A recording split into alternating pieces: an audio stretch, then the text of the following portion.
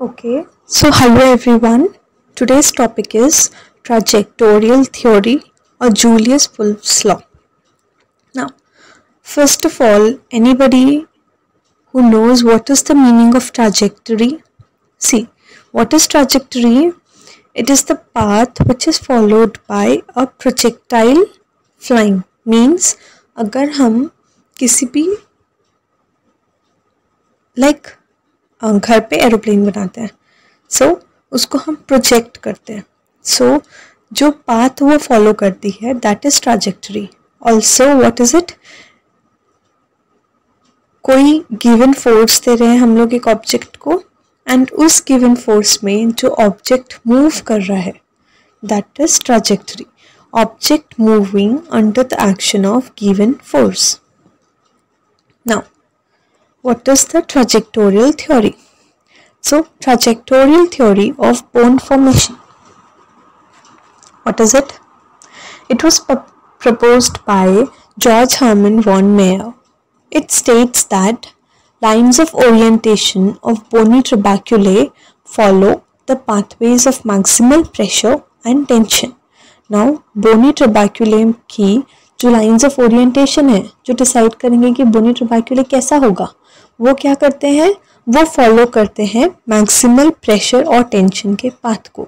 जिस पाथ में जिस जगह पे जिस एरिया में सबसे ज़्यादा प्रेशर और टेंशन होगा वहाँ पे वो लाइंस बन जाएँगे। Now trabeculae are thicker in areas of maximum stress See, alignment of trabeculae in the spongy bone followed trabecular lines like in a mechanical structure. So, एक स्पॉन्जी बोन है उसमें ट्रबैक्यूलर का अलाइनमेंट कैसा होगा वो ट्रबैक्यूलर लाइंस को फॉलो करके होगा। ट्रबैक्यूलर लाइंस कैसी होंगी? ट्रबैक्यूलर लाइंस उस जगह पे होगी ट्रबैक्यूलर लाइंस मतलब लाइंस ऑफ़ ओरिएंटेशन वो उस जगह पे होगी उस पाथ में होगी जहाँ पे मैक्सिमल प्रेशर और टेंशन होगा।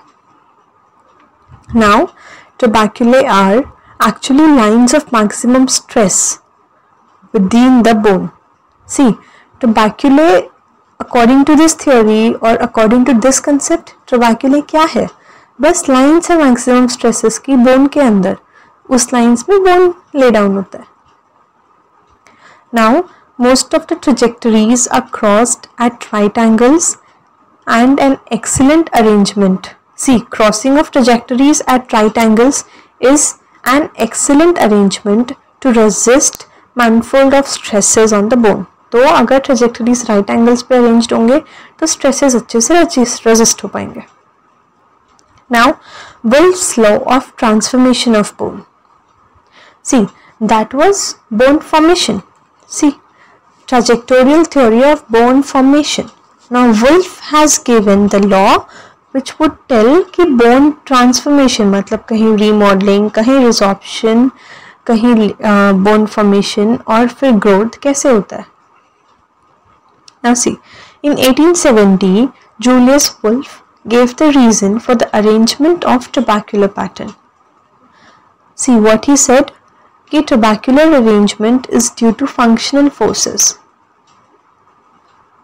Trabecular arrangement का रीज़न दिया गया बाय दिस लॉ और क्या रीज़न है कि ट्रबैकुलर अरेंजमेंट जो है वो फंक्शनल फोर्सेस की वजह से है now a change in the direction and magnitude of force could produce a marked change in the internal architecture and external form of the bone. देखो फोर्स का अगर हम लोग डायरेक्शन और मैग्नीट्यूड मतलब कैसे, किस जगह लग रहा है और कितना अमाउंट ऑफ़ फोर्स लग रहा है, उसको अपन अगर चेंज करेंगे तो उसकी वजह से चेंज होता है दो चीज़ इंटरनल आर्किटेक्चर भी बोन का और external appearance external form of the bone ये है Wolff's law of transformation of bone